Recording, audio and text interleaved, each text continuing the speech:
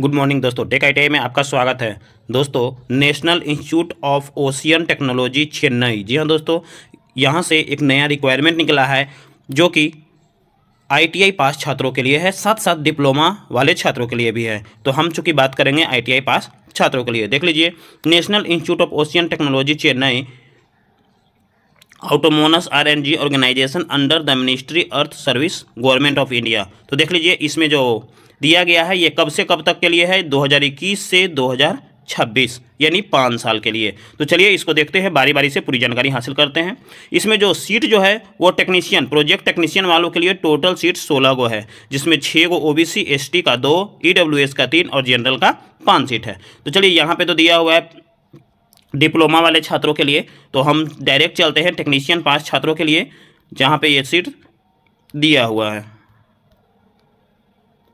नीचे की ओर देखिए।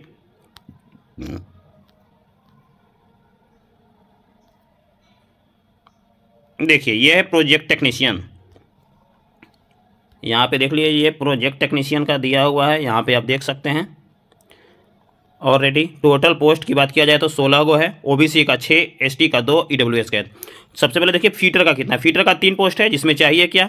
देख लीजिए टेंथ पास चाहिए आईटीआई चाहिए tenth standard with two year ITI यानी दो साल का आईटीआई होना चाहिए जो फीटर ट्रेड से है।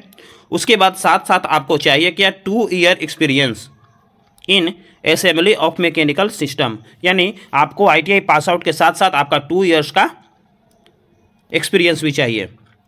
उसके बाद है मैकेनिकल पोस्ट के लिए तीन गो पोस्ट है। इसमें क्या चाहिए? इसमें ड्राफ्ट मैन मैकेनिकल से अगर आप आईटीआई पास किए हैं, और साथ साथ इसमें भी एक्सपीरियंस दिया हुआ होगा टू ईयर एक्सपीरियंस यानी अगर इस फॉर्म को आपको भरना है तो दो साल का आपके पास एक्सपीरियंस होना चाहिए।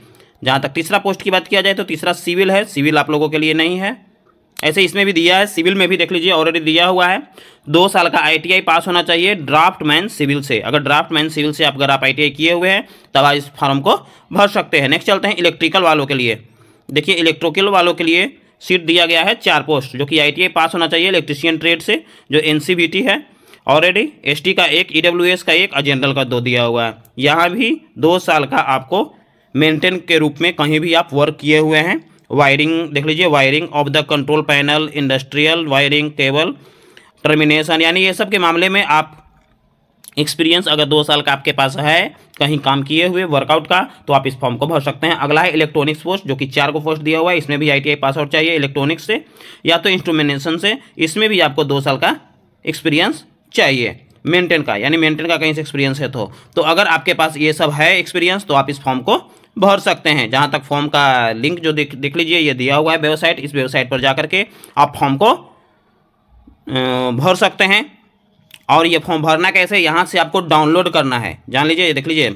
Download the field in the application form the generate registration, interview, test, यानी यहाँ से आपको पता चलेगा कि कैसे कैसे है। दूसरी चीज़, ये फॉर्म जो भरना है आपको, वो ऑनलाइन भरना है। जी हाँ दोस्तों, ये फॉर्म ऑनलाइन भरना है। फॉर्म ऑनलाइन भर करके आपको सबमिट कर देना है। देख लीजिए कब तक है, यहाँ पर दिया हुआ है, टेस्ट का डेट दिया हुआ है, यानी एग्ज़ाम का डेट भी दे दिया गया ऑलरेडी देख लीजिए यहाँ प्रोजेक्ट टेक्नीशियन का जितना भी ये पोस्ट आई पास आउट के लिए है, वो ऑलरेडी यहाँ पर डेट दिया हुआ है। अलग अलग का अलग अलग डेट दे दिया गया है कि इस दिन एग्ज़ाम होगा।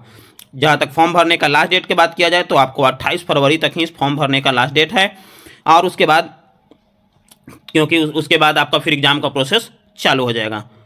और भी नीचे देखिए, जहाँ तक छूट की बात किया जाए तो एस सी को पाँच साल का और ओबीसी को तीन साल का छूट दिया गया है। तो यही है वैकेंसी। अगर आप इसके लिए एलिजिबल हैं तो जितना जल्दी हो सके इस फॉर्म को भर दे। तो ये थे लेटेस्ट अपडेट। और भी अपडेट पर बने रहने के लिए मेरे चैनल को सब्सक्राइब कर दे। साथ में बेल आइकन दबा दें। जय हिंद।